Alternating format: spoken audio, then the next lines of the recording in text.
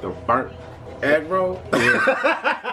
Has this ever happened to you where you like blazed trees and recorded something, and then Mhm. when you when you became sober again, you were like, man, I don't like that shit, or it's not as good as what I when I thought it was when I was high. Yeah, I mean that happened. There's times I've done it, recorded it, and it was fire in the moment. But it's like, nah, you probably could have recorded it better, being too smacked or something.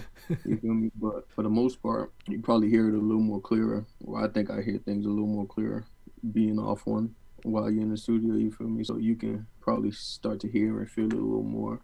Now, obviously, you want to make sure it passes a sober test because not everyone who's listening to music is not sober all the time. But for the most part, I feel like it heightens the the the ear to clean pro- production in a sense. Oh yeah, oh yeah, I agree. I think weed definitely helps with like uh creativity and then also like uh expression, you know. You can express yourself on a different level when you're high versus sober. That, there goes that that guard that people put out to the world. It kind of just I don't know. I think for more so for me, it makes me be in the present, which is kind of hard. Which is a lot of people can't ba- balance that. You feel me? Whether dwelling on the past or or planning for the future and trying to make sure you're all set. Being in the present is probably one of the biggest part about life, to be honest, that people kind of negate.